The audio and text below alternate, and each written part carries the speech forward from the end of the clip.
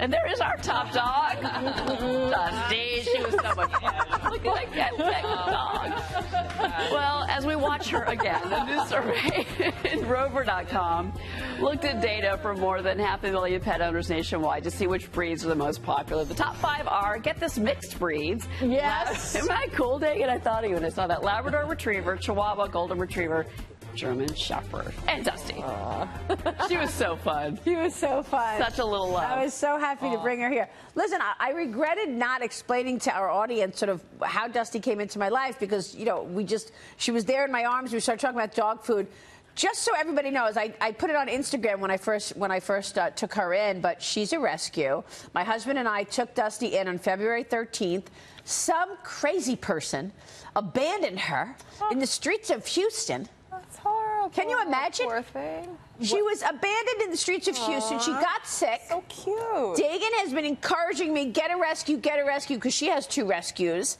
And so I did, and you know what? You were so right. They know that you rescued them. Really? She's such a loving, wonderful animal, and I love her so much. So I just wanted to make sure everybody sweet. knew the story behind Dusty. I didn't do that the And other that's day. one of the things that should be So campaigned cute. against. When you have a pet, you don't abandon the pet like Never. that. That's one of my daughters has a rescue dog. They, they live in Dallas and found this dog wandering on the highway. Can you Rescued it. imagine? I think it's Who would do that? outrageous. It's outrageous. That's Who would? I mean, and she's a puppy. They left her in the So streets of sweet. Houston to, to just rot. Thank Char- God I found her and she found me. Thank you, Petco Foundation. Yeah, So Charlie's an owner surrender. Charlie was surrendered to an, animal care centers, basically the dog pound here in New York City by his owners who There's you and Charlie and Ramon. horribly and Ramon's a street rescue from Puerto Rico.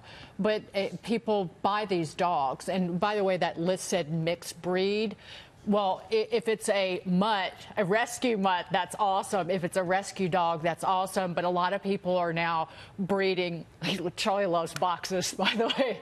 Um, breeding like the Labradoodle and the Golden Doodle. Those are extremely popular, and there are you know these back even backyard puppy mills producing these dogs. Wow. So please go to a, a shelter. Adopt, don't shop. I, I I think the for me, um, I think Dusty is largely a Maltese, but She looks like it. she looks like it. But I think she might have some something else in You there. get a kit and find out her. Uh, yeah, you're right. those things, are, those things are kind of hooey, though, Steve. We've done Oh those. They don't really tell you what they are because Charlie is not anything, not near what the, the, that DNA test. Well, said that Dusty he loved is. coming to my work, and she loved everybody here in the studio. So thank you. She, I uh, like she was sparking back. at the. barking at the camera. She's not used to a camera following. She was like, she wanted to come to me, but she also wanted the cameraman to know, hey, stop following me around.